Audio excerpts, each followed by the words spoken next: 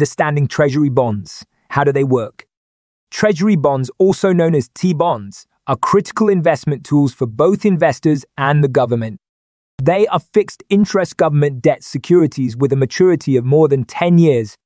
When you buy a treasury bond, you're essentially lending money to the government, which they use to finance public projects or cover budget deficits. Government promises to pay back the money with interest over a specified period, typically 20 or 30 years. The operation of treasury bonds can be broken down into three simple steps issuance, interest payment, and maturity. The US Department of the Treasury issues T bonds via auctions, where competitive and non competitive bids are made.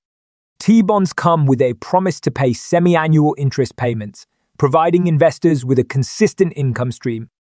Upon maturity, the government pays back the face value of the bond. The face value of a treasury bond is typically $1,000, but the price a buyer pays can be less or more based on market conditions. Treasury bonds have an inverse relationship with interest rates. When interest rates rise, bond prices fall, and when interest rates fall, bond prices rise. This happens because investors seek higher yields in the market. While you can hold on to your T bond until maturity, they can also be actively traded in the secondary market. However, selling your T bond before maturity might result in a capital loss if interest rates have risen since you bought the bond. Treasury bonds are bought by a broad range of entities, including individuals, institutional investors, and central banks. They are considered safe investments backed by the US government, providing a low risk option.